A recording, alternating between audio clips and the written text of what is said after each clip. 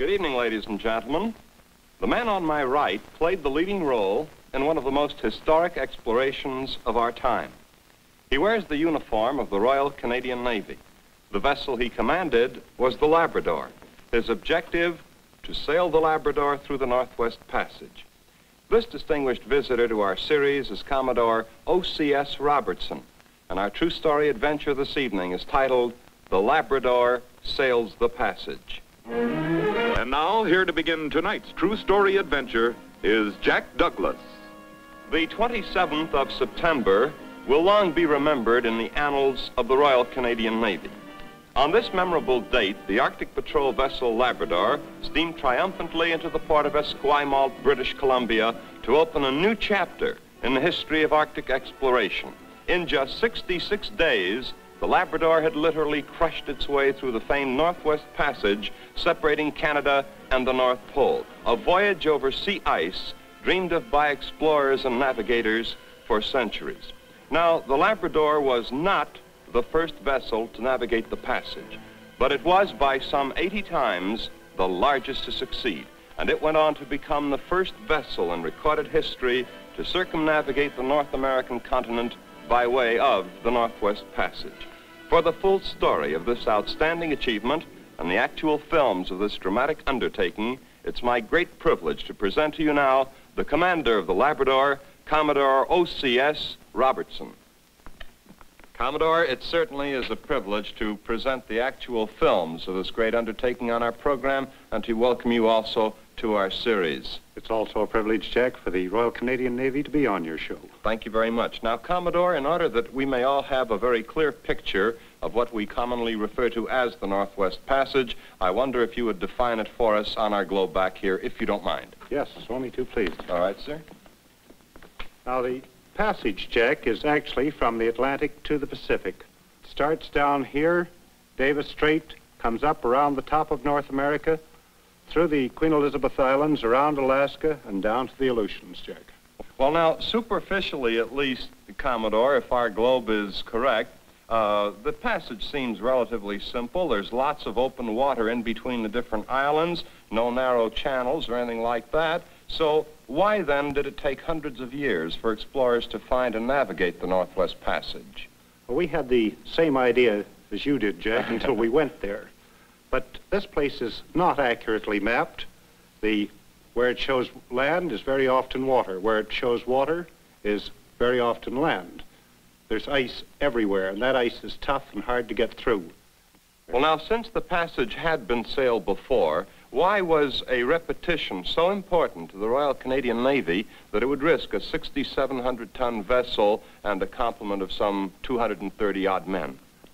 Well, Jack, you see, the early people were exploring. We were a research ship. It was necessary for the defense of our country and your country to learn more about the Arctic. We wanted to find out whether it was possible to build a distant early warning radar line across the Arctic. We wanted to find out if submarines could go through the Arctic under the ice. These were all questions that the defense of our country uh, required an answer for. Commodore, tell us something about yourself now. What were some of your earlier commands and assignments? Oh, Jack, the usual thing that falls to the lot of a naval officer minesweepers, destroyers, North Atlantic convoy. I served in 1941 and 42 with the Americans in the Pacific. I've had command of naval training establishments, officers training establishments, shipyards. Now, what was the starting point of the expedition, Commodore? Well, Jack, probably the best place to start would be Sorel, a little French-Canadian town on the St. Lawrence between Montreal and Quebec, where the ship was built and where she commissioned. She's quite a ship. My bride says that she's the only real competition she ever had. We proceeded from Sorel down to Halifax, where we loaded our stores. We had to take stores for some 18 months. We didn't expect to be away that long. Was the sailing of the Northwest Passage the Labrador's maiden voyage? Yes, Jack, her maiden voyage. We took supplies for the Mounties, too. Our scientists brought their equipment on board. There were a lot of things to do before we got away, and we had very, very few days to do it in. On July the 23rd, we sailed for the Arctic. Just a short time after commissioning, sailed down Halifax Harbor, passing some of the other ships who saluted us, we were on our way north. A north that we didn't know very much about. There were only three of us in the ship who'd ever been in the Arctic before. And we were going to try and set the pattern for the work which was to follow. The navigator and myself plotted out our courses or proposed courses. The engineers went over their equipment, engines. The communicators tried out their equipment. Here's our track. Northward till about 74 north. The oceanographers readied their equipment. There were nets to be made, gear to be overhauled. We stopped at several places to take oceanographic stations. Here we're collecting water temperatures, salinity, other information that we required on the ocean's depths. Well, now, this was information, Commodore, of a type that had not been of previously available to the Navy? Not in these waters. No research ship had ever been up here before. The chief scientist, Dr. Don Rose from the National Research Council, had his cosmic ray equipment on board. The hydrographers got out their aerial photographs from which we hoped to make accurate charts and maps. We then encountered the ice, and hard weather, cold weather clothing was issued to all the ship's company. I had to send the helicopters out to see if the ship could get through between some of the islands. Well, is that the Labrador in the background? That's the Labrador. We met our first icebergs. This one, a valley iceberg, is 285 feet high. We sent the helicopters aloft to measure it. We also met our first walrus, basking in the sun. There were hundreds and hundreds of them. They were a little annoyed at us, I think, for disturbing their sleep. This chap in particular, he was getting a little stiff in the flippers.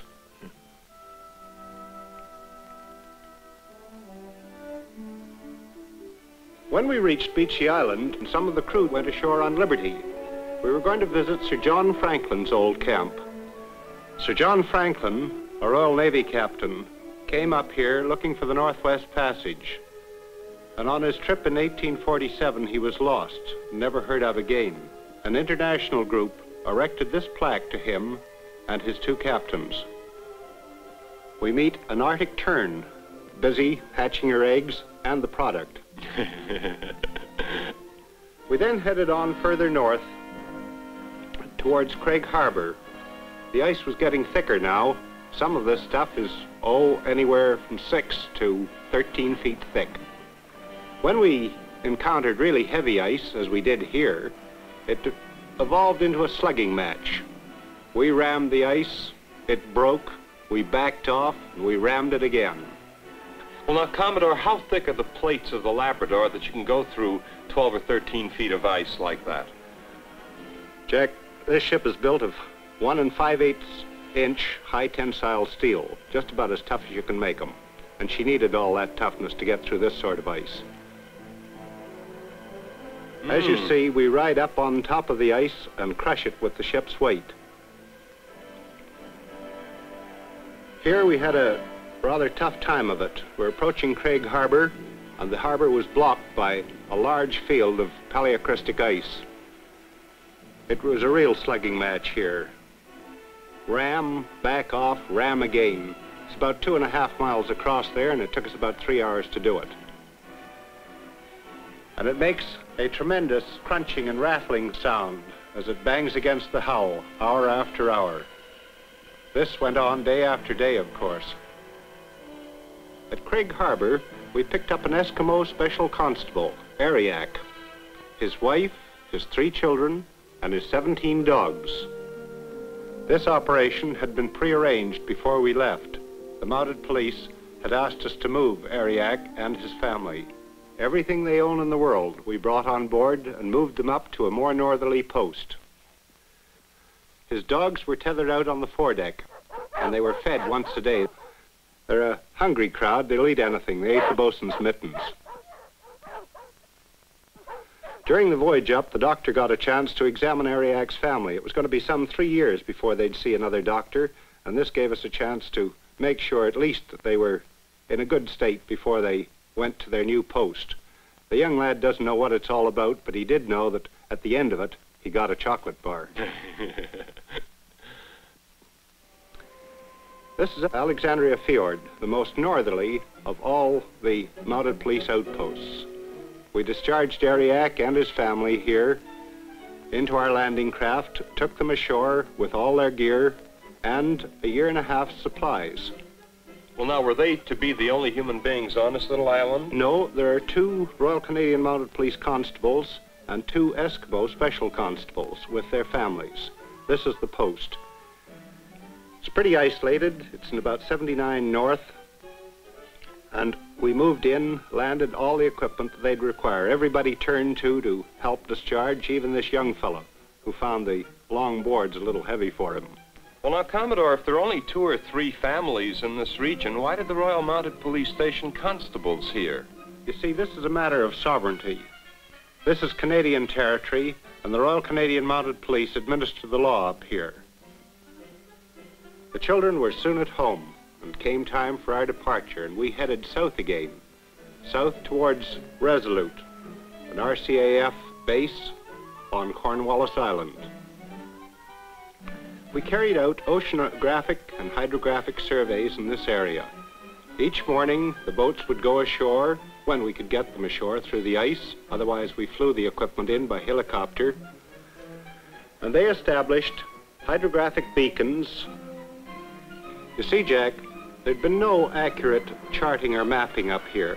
And one of our main jobs was to establish the positions of these islands using modern electronic method of charting and tie them down so that we could make accurate maps and accurate charts for the ships which were to follow us, thereby mapping the islands and tying them in with the general configuration of the coastline. We also carried out magnetic work here, calculations in the variation of the Earth's magnetic field the two ships which had gone through the passage before had been small ships, and they had got astronomic fixes, but these were not accurate enough for present-day maps and charts. These charts would be necessary if other ships were to follow us. Here, a party is just returning from having erected a beacon. This day it had rained, and the tundra was soft and clayey. The men almost needed snowshoes to get through it. It wasn't all beer and skittles, Jack, as you can see. This boat had run in at midnight one night in a gale to pick up a party of scientists. She'd broached to on the beach. The temperature here was about 34 this day, the water temperature about 31. A pretty cold, miserable job. It took us about two and a half days to get that boat off. Now, Commodore, did somebody lose a couple of stripes for this? No, Jack. The petty officer who was running that boat was one of our most capable men. It's a thing that could happen to anybody. Surely. It was about this point that a very curious adventure befell us. We received a distress signal from a little American vessel, the Monte Carlo, out of Boston, carrying a, a scientific party. She was in trouble. She was trapped by the ice. Navigator and I attempted to plot her position and make plans for going into her rescue. Thank you, Commodore Robertson. Part two of tonight's true story adventure continues in just a moment. According to our calculations, the Monte Carlo was about 60 miles away. So we decided to work our way up towards her, and then I would take off by helicopter and try and find her. It was going to be a long flight for the helicopters. This type have got a range of just 60 miles. I flew off, found the little ship. In the meantime, radar tracked us, and I kept in touch with the ship by radio telephone. While I was away, the navigator worked the ship up closer as he realized that we were going to be rather short of gasoline by the time we got back. I'd seen the ship in the distance, and as soon as I arrived back, I held a conference with the senior pilot, on whom a lot of the work was going to fall, the navigator, and the commander, and tried to map out our plan of action to get in through this very narrow strait up to where Monte Carlo was and get her out. It was hard sledding going up heavy ice and a very narrow channel. Looking at these pictures, Commodore, it's easy to understand why the early explorers failed in their attempts to sail the passage, isn't it?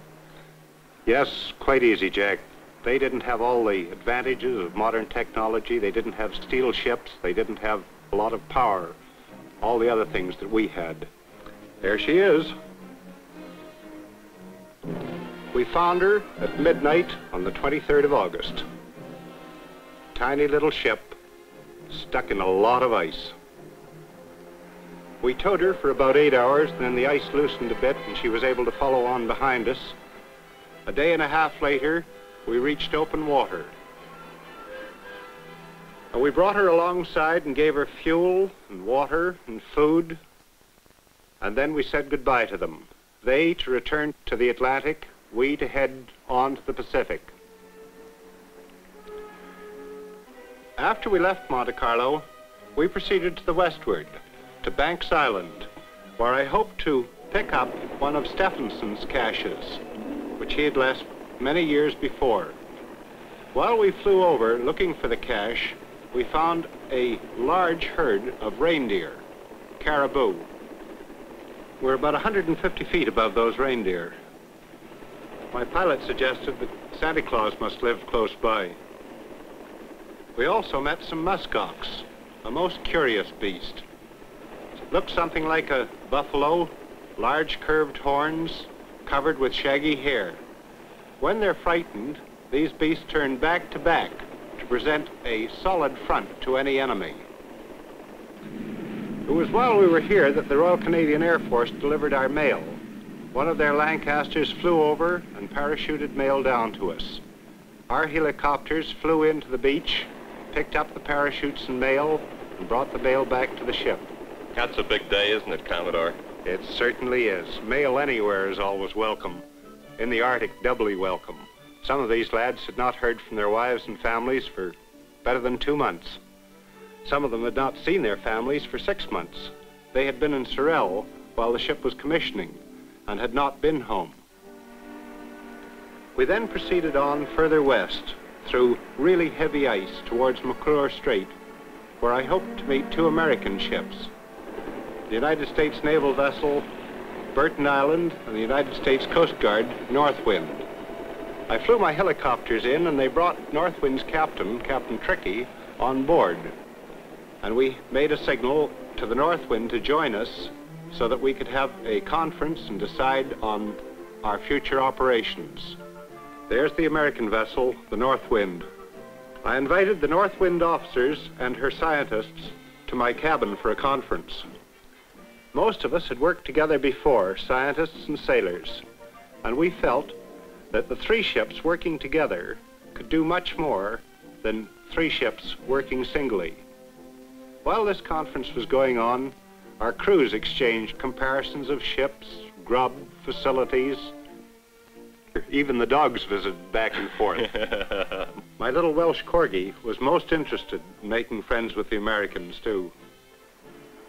Northwind soon left us. She was to go on to Richard Collinson Inlet, while I proceeded across to Russell Point, and the Burton Island proceeded down Prince of Wales Strait. We would then coordinate our scientific work, and we hoped come up with some of the answers which were required. Here, too, we met polar bears. One old man and a mother with two cubs. She was a little alarmed. She thought we were after her cubs, but actually she had nothing to be frightened of.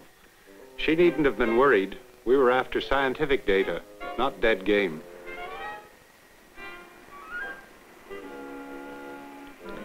The old man was a little annoyed with us. Just as he walked off with great dignity, I blew the whistle and it frightened him he was cross about it. We then went on into the polar pack, where our meteorological experts carried out research.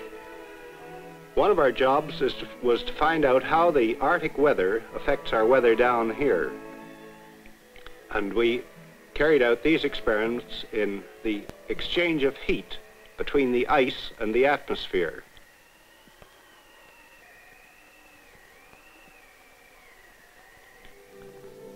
Once this was completed, we headed west again. By this time, we were almost through the passage, heading down through Amundsen Gulf towards Point Barrow, along the Alaskan coast. Then we turned south into the Chukotay Sea and down towards the Aleutians. Now we were through the most difficult part of the Northwest Passage. It was quite a voyage. 10,000 miles, new ship, 66 days, from Halifax to Esquimalt. At this point, I sent off this message to Royal Canadian Naval Headquarters in Ottawa. Northwest Passage completed, I was proceeding to Halifax via Esquimalt, the Canadian Naval Base on the west coast, and Panama Canal. I was exceptionally proud of my ship's people. It was rather fun getting into Esquimalt.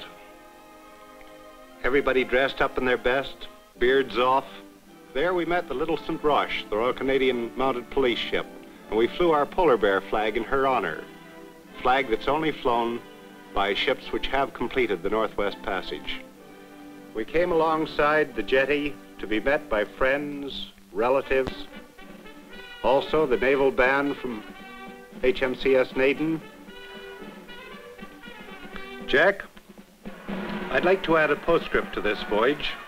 When we got back to our home port of Halifax in Nova Scotia, after going through the Panama Canal, we held the traditional service on board Labrador, a tradition for British and Commonwealth ships for many years.